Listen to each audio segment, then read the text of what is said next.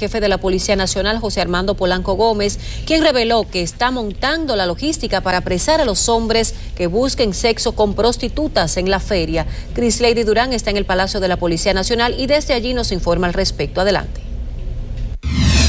Gracias. En efecto, José Armando Polanco Gómez afirma que hay muros que no se deben cruzar, pero favorece que las prostitutas no trabajen en las inmediaciones al edificio de la Suprema Corte de Justicia, ubicado en el centro de los héroes. Todo lo que vivimos aquí en República Dominicana y hemos pasado por ahí, por la Joe Washington, frente a donde está el regio y honorable edificio de la Suprema Corte de Justicia y de la Procuraduría General, nos vemos con este espectáculo un poco deplorable e inaceptable. Entonces eso estamos de acuerdo con el señor procurador, eso no puede ser así.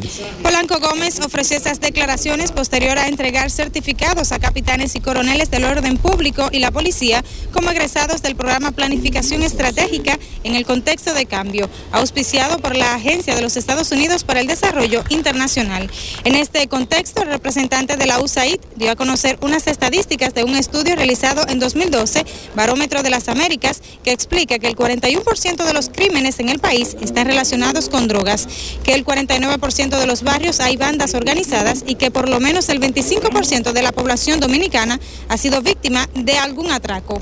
Y sobre estas estadísticas que presenta el representante de la USAID en el país, James Wright, ofreceremos otros detalles en nuestras próximas emisiones. Mientras tanto, es toda la información que tengo desde la Policía Nacional. Retorno al centro de noticias.